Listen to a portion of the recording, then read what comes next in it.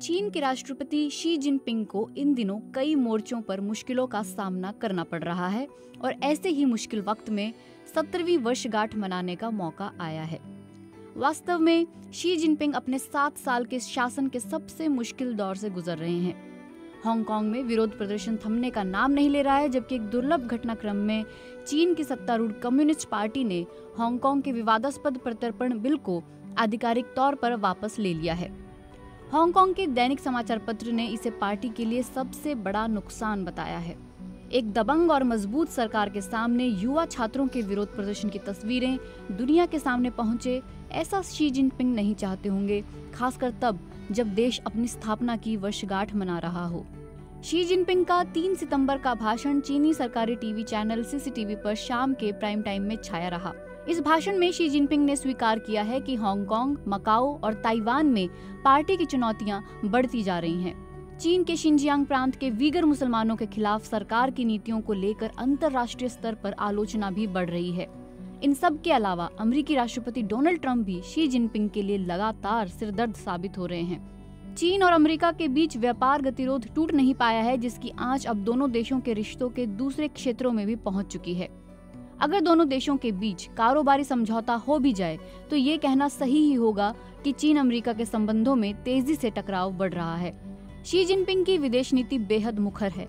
उन्होंने पहले के राष्ट्रपतियों से ज़्यादा इस पर ध्यान दिया है। इसके चलते भी पश्चिमी देशों में चीन के प्रभुत्व का विरोध बढ़ रहा है। शी जिनपिंग की सबसे अहम विदेश नीति बेल्ट एंड रोड इनिशिएटिव को भी कुछ देशों में झटका लगा है। ट्रेड वॉर के चलते घरेलू मोर्चे पर चीनी अर्थव्यवस्था पर दबाव बढ़ा है, जो पहले से ही मुश्किल में है।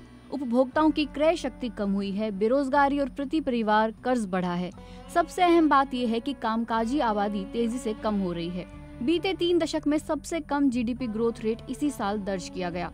विदेशी आलोचक शी जिनपिंग की इसलिए भी आलोचना करते आए हैं कि वे आर्थिक सुधारों को लागू नहीं कर पाए। हालाँकि चीन की सरकारी मीडिया इस नैरेटिव को बढ़ावा दे रही है कि चीनी अर्थव्यवस्था की फ्लेक्सिबिलिटी उतार चढ़ाव झेलने में सक्षम है। इन सब के अलावा चीनी राष्ट्रपति को एक अनोखी समस्या का सामना भी करना पड़ रहा है।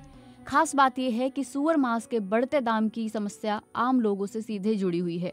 चीन में ये पूरा साल सूरों के साल के तौर पर मनाया जा रहा है। चीनी अधिकारियों के सामने इस साल सबसे बड़ी मुश्किल यही है कि वे लगातार कोशिशों के बाद भी सुअर के मांस की कीमतों पर अंकुश नहीं लगा पा रहे।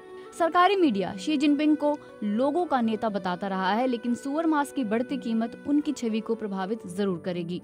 चीन के उप प्रधानमंत्री हु चुनहुआ ने अगस्त के अंत में चेतावनी देते हुए कहा था कि अगर लोग सुअर का मांस खरीद नहीं पाएँगे तो ये पार्टी की छवि को नुकसान पहुंचाएगा।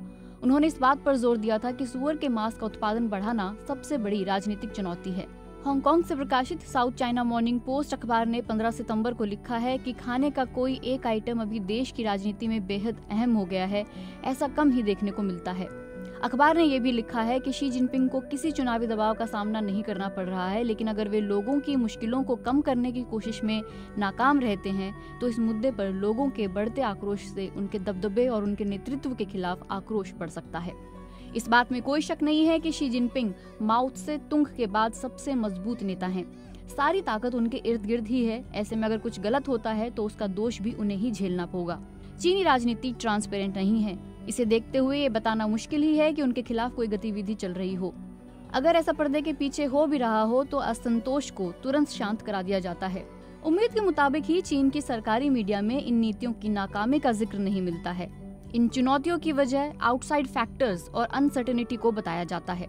जापानी अखबार निक्कई एशियन रिव्यू ने 12 सितंबर को पार्टी सूत्रों के हवाले से लिखा है कि शी जिनपिंग केवल माउत्से के शैली की नकल करके अपने आधार को मज़बूत बनाना चाहते हैं। वे चीन की स्थापना की सत्रहवीं वर्षगांठ से पहले मौजूदा चुनौतियों से पार पाना चाहते हैं। इस लेख में ये भी लिखा गया है कि संकट इस तरह का है कि अगर प्रशासन ने जल्दी से कार्रवाई नहीं की तो शी जिनपिंग धीरे धीरे पार्टी पर अपनी पकड़ खो सकते हैं।